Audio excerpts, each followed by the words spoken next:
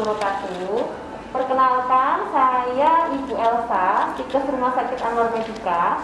Kali ini akan membuat video praktikum untuk anatomi fisiologi. Di sini nanti saya akan memperkenalkan alat-alat sirkulasi darah. Jadi sebelum nanti saya mengenal memperkenalkan alat-alat untuk mengetahui sirkulasi darah, saya akan menjelaskan dulu kita review kembali anatomi fisiologi tentang organ sirkulasi. Jadi di sini nanti kalau organ sirkulasi itu kan sudah ada seperti ini ya. Nah untuk tata caranya untuk mengukur tekanan darah, saya sudah mempersiapkan alat untuk mengukur tekanan darah rendah, mengetahui tekanan darah tinggi. Itu nanti kita memakai uh, stetoskop Nanti stetoskop ini cara kerjanya akan saya beritahu dan saya jelaskan. Terus yang kedua ini ada tensimeter. Nah, gunanya tensimeter manfaatnya itu untuk mengetahui atau mengukur tekanan darah pada manusia. Jadi nanti kalau misalkan adik-adik ke rumah sakit pengen tahu tekanan darahnya, itu bisa ke dokter ke poli umum boleh, poli spesialis boleh. Pasti di ruangan dokter itu selalu wajib ada stetoskop sama tensimeter. Nah ini uh, tensimeter ini kalau stetoskop ini kegunaannya yaitu uh, bisa dilihatkan seperti ini uangnya. Nah kalau tensimeter stetoskop dulu ya yang saya jelaskan. Stetoskop ini kan ada, ini namanya bel ya, yang ini diafragma. Kalau ini bukan paralon, tapi namanya tabing.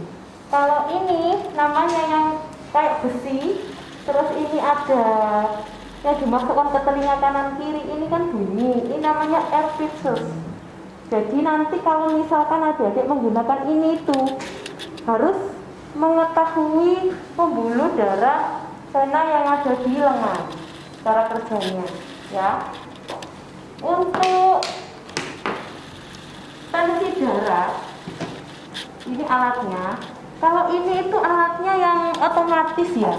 Kalau yang zaman dulu itu kita nggak pakai ini. Tapi susah. Tapi kalau pakai ini enak. Langsung otomatis. Sekarang zamannya sudah sudah zaman generasi Z pengennya yang praktis-praktis tapi hasilnya ini sudah pasti bagus. Memang baik.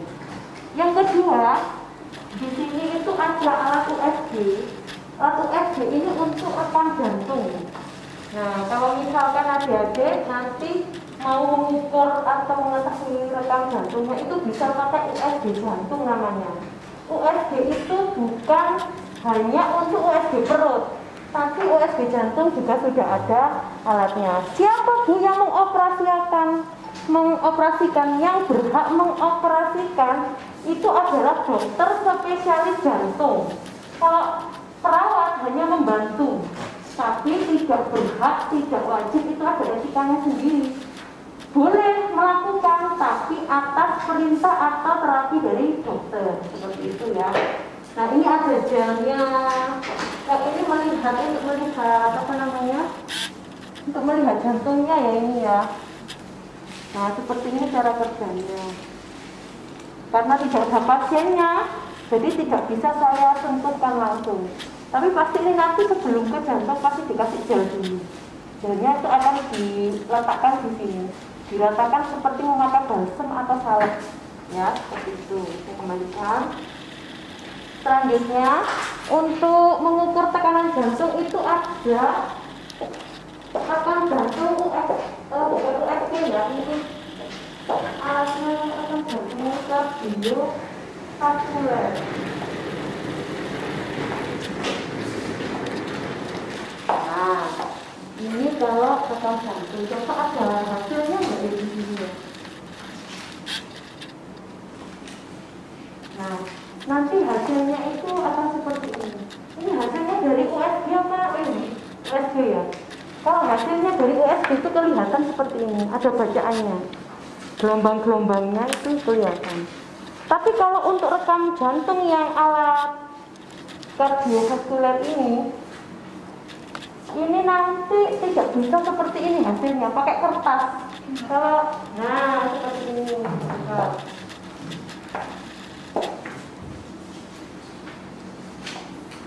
nah seperti ini ada bacaannya. Yang membaca siapa? Yang membaca adalah dokter. Karena ada gelombang P ada gelombang ACR ada rate-nya ada R-nya. Nah seperti ini. Contohnya dari hasil memakai alat rekam jantung yang radio ini. Ini untuk apa Bu?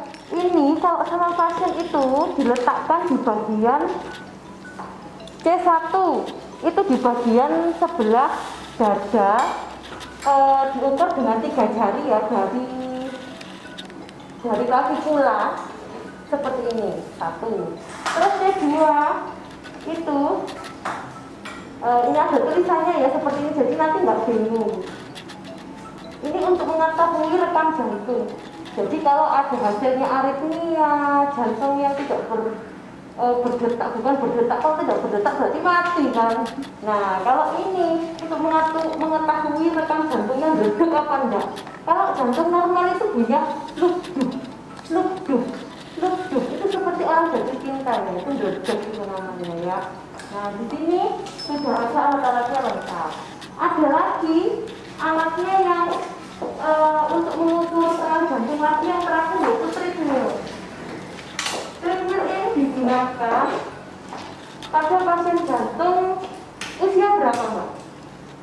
Usia 40 ke atas. 40 ke atas ya. Nah, treadmill ini digunakan untuk pasien-pasien yang memang ingin mengetahui rekanan dan kecepatan jantungnya bisa dilihat dari TV-nya. Ini monitor ya, monitornya. Nah, nanti di sini biar tahu yang membaca juga dokter, bukan seorang perawat atau tenaga medis yang lainnya. Itu ada khusus sendiri. Lalu bacaannya ada nggak contohnya?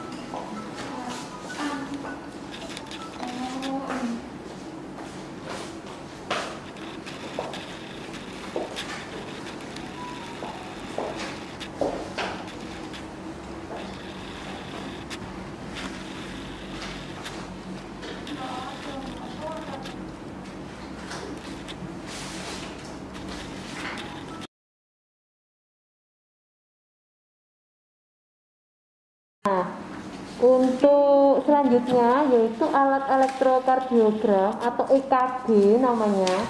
Ini pemeriksaannya untuk mengukur dan merekam aktivitas listrik jantung. Jadi EKG ini umumnya dilakukan untuk memeriksa kondisi jantung dan menilai efektivitas pengobatan penyakit jantung. Alat ini dilakukan eh, kepada dari dokter spesialis ya untuk mengetahui kelistrikan jantungnya. Elektrokardiogram ini dilakukan menggunakan mesin pendeteksi impuls listrik jantung yang disebut elektrokardiogram. Nah, seperti ini alatnya.